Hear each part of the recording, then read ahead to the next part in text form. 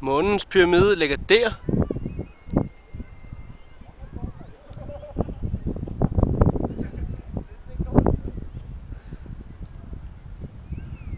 Så kigger man ud over det, så kigger man ud over det store område her, hvor Teotihuacan er bygget. De mente, der boede mellem 80.000 og 200.000 mennesker i byen i sin tid. Den store bygning derude i midten er øh, Solens pyramide. Og øh, der er der en lang avenue, der går ned igennem byens midte. Og øh, den her plads hedder Månens Plads.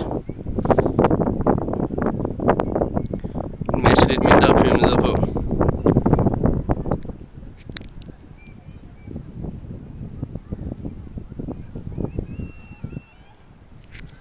Trappen op til her er rimelig stejl.